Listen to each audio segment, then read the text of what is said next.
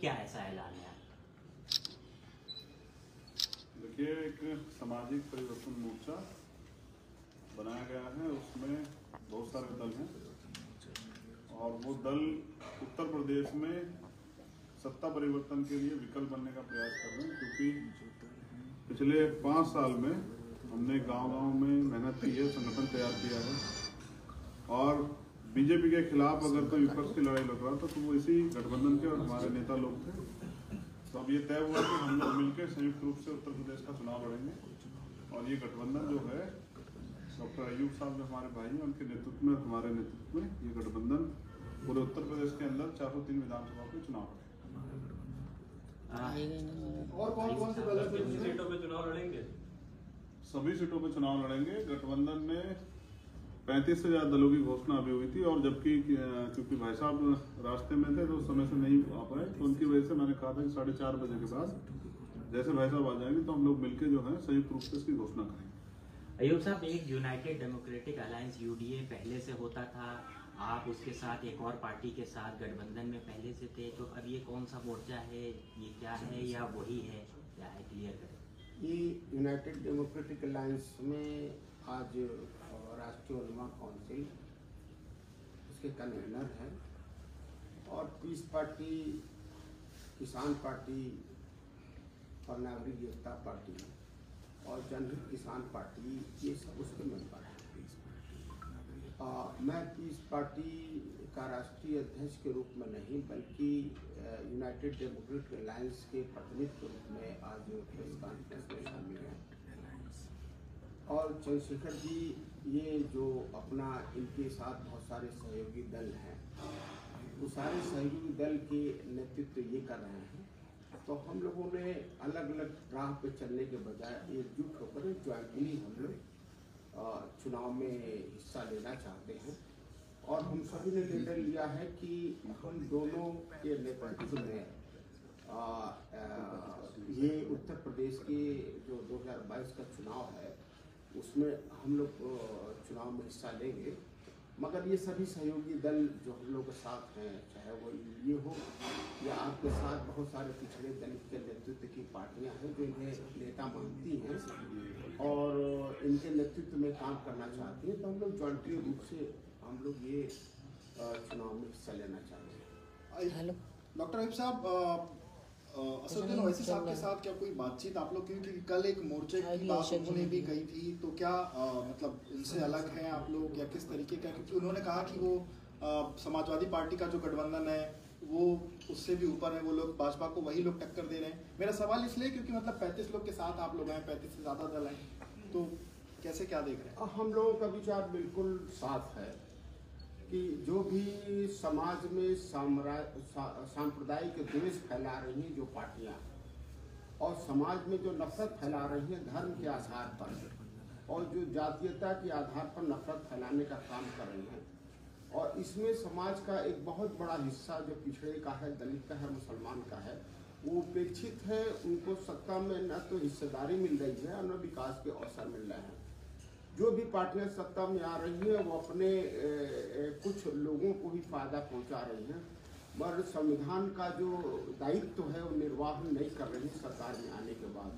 और यही वजह है कि हम सभी एकजुट होकर के उन सभी समाज का जो कमज़ोर तबके के लोग हैं जो शोषित पीड़ित और उपेक्षित हैं हम उन सबको लेकर के उनको न्याय दिलाने का हम सभी लोग प्रयास कर रहे हैं।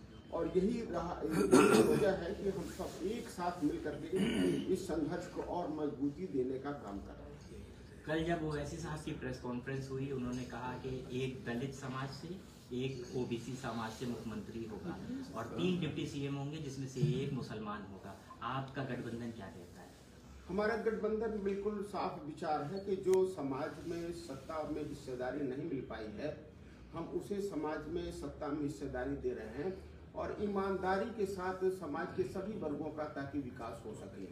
हम सभी ने ये फैसला लिया है कि चूँकि पिछड़े और दलित के बहुत सारे नेता की पार्टियों ने भाई चंद्रशेखर जी को अपना नेता माना है और उन लोगों ने सभी ने समर्थन दिया है। इसलिए हम सभी ने निर्णय लिया है कि अगर हम सभी की सरकार बनती है, इस ज्वाइंट जो परिवर्तन की सरकार बनती है तो हमारे मुख्यमंत्री जो होंगे वो चंद्रशेखर जी होंगे और पिछड़े समाज की जितनी नेतृत्व की पार्टियाँ हैं वो पिछड़े समाज का एक मुख्यमंत्री और मुस्लिम समाज का एक उप मुख्यमंत्री होगा दो उप मुख्यमंत्री दो उप मुख्यमंत्री होंगे मगर वो दोनों मुख्यमंत्री वो मुस्लिम समाज के जितनी राजनीतिक दल हैं उनसे होंगे और पिछड़े वर्ग का एक उप मुख्यमंत्री होगा जो पिछड़े दल के सभी दल हैं हैं जो साथ हम लोग के हैं।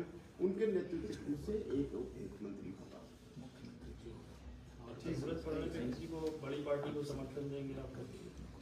अधिक सरकार बनती है तो चुनाव के बाद हम लोग सभी निर्णय लेंगे कि जो हम सभी के एजेंडे पर काम करते हैं मानते हैं और जो सबका न्याय देने के भरोसा बनाते हैं हम उनके साथ सहयोग करके हम सरकार बनाने का प्रयास करेंगे। प्राथमिकता किस पार्टी को देंगे? प्राथमिकता अपनी पार्टी को है कि हम लोग अब मिल करके अपनी सरकार बनाएँगे। आज कुल मिला के कितने दल और साथ में आए? एक चंद्रशेखर आज़ाद साहब तो बैठे हैं साथ में।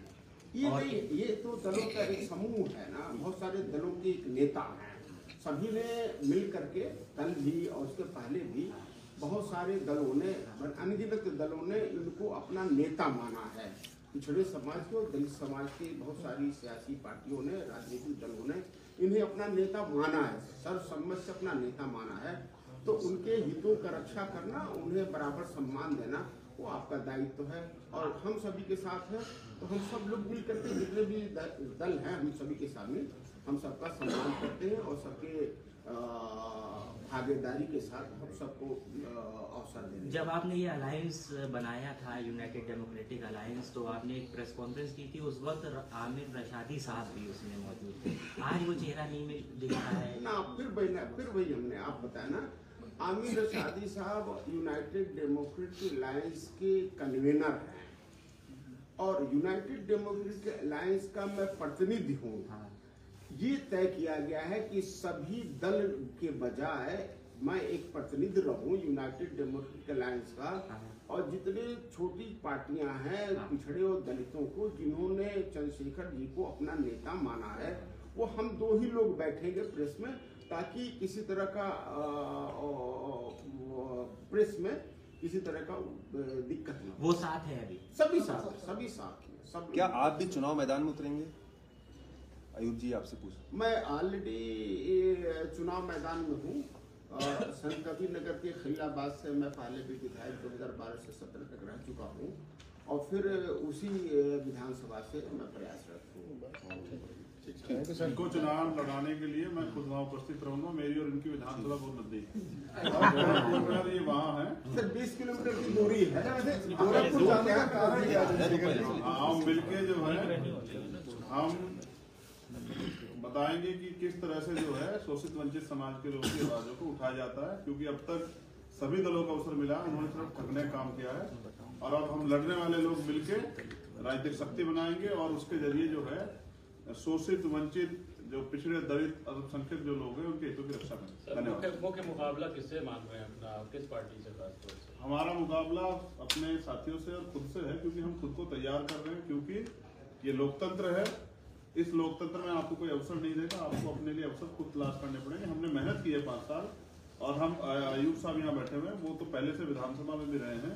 उन्होंने अपने आंदोलन के ज़रिए बहुजन समाज के हितों की रक्षा की है तो इसलिए जो है मैं चाहता हूँ कि और अच्छे लोग जो है आगे बढ़ के इस आंदोलन से जाएँ और वहाँ जाके उनकी कमजोरों की आवाज़ बने यूपी की जनता को क्या देने वाले हैं अगर इस गठबंधन की सरकार बनती एक संयुक्त मैनिफेस्टो जारी करेंगे सब लोगों के मुद्दों को लेके। अभी तो एक जो मुझे महसूस होता है कि हाशिए पे रह गए लोगों को अब अपना दल मिलेगा, अपना विकल्प मिलेगा और उनकी दल के ज़रिए उनकी बात जो है वो सदन तक जाएगी और सदन के पटल से उनके लिए नीतियाँ बनेगी।